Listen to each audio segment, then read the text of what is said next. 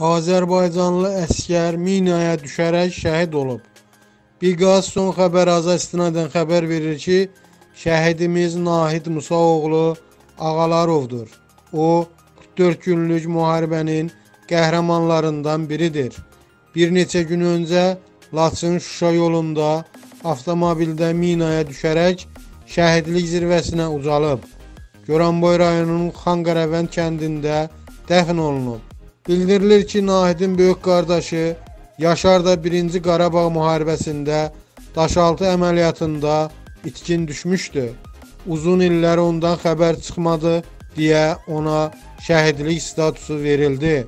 Tale ilə gətirdi ki, Nahid də qardaşının döyüşdüyü yerdə Şuşa Daşaltı yaxınlığında şəhid oldu. Allah rəhmət eləsin.